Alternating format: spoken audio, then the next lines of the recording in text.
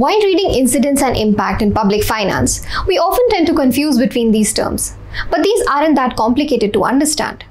Impact is the initial burden of tax, which can be shifted easily, whereas incidence is the final point of tax, which cannot be further shifted and is the end of shifting process.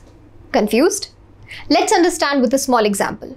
Suppose a tax, say GST, is levied on shampoo now its impact is on the producer of the shampoo, meaning the producer is liable to pay the tax to the government. But these producers may succeed in collecting the amount of this tax from the consumer by shifting the tax. Thinking how? Simply by raising the price of the shampoo by the amount of the tax. So in this case, the ultimate burden of the tax falls upon the consumer who actually made the sacrifice to pay the tax due to the shifting.